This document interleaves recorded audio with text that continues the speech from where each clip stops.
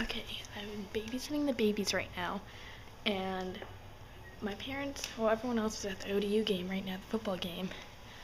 And I came upstairs to check on the babies because I heard them a little while ago, but I was doing my homework. So, I came up here and followed them. Came in and I saw that they weren't in their beds. and they made a big mess. Then I came to here, so they opened up the doors.